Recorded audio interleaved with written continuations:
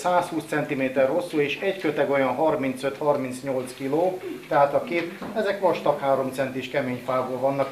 A komposztládák paramétereit ismerteti Baka György, a Zöldtárs Alapítvány vezetője az idei akciójukban pakson érintett lakosoknak. A környezetvédelem iránt elhivatott civil szervezet hatodik esztendeje szervez komposztáló programokat. Idén pályázati támogatással a Paksi kis térség településein élők igényelhettek náluk komposztládát. Tavasszal indult a 14 településen az igényfelmérés, a, a komposztálni vágyuknak a felmérése, és végül is 560-an jelentkeztek az első körbe, át egy megadott határidőre, hiszen ha tovább nyitva lett volna a határidő, a pályázati határidő, akkor még nyilván többen jelentkeztek volna. Tehát most így 560 ládának a, a van gazdája a Paksi Kistérség 14 településén.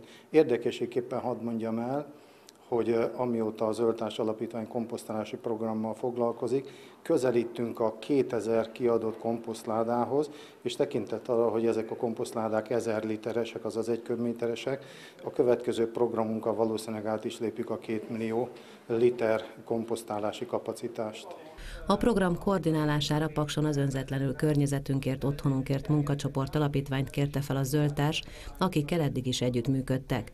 Az alapítvány feladata első lépésben a lakosság igények felmérése volt. 50 ládáról volt szó első körben, és folyamatosan bombáztam az alapítványt, hogy, hogy mit akkor az érdeklődés, hogy ez biztos, hogy nagyon-nagyon kevés lesz, és így úgy tudom, hogy más kis térség, kisebb településeken például nem jelentkeztek annyian, hiszen ott más eljárással nyilván, hogy működik azért ez a dolog, így akkor 86 darab látát lehet ma Pakson szétosztani.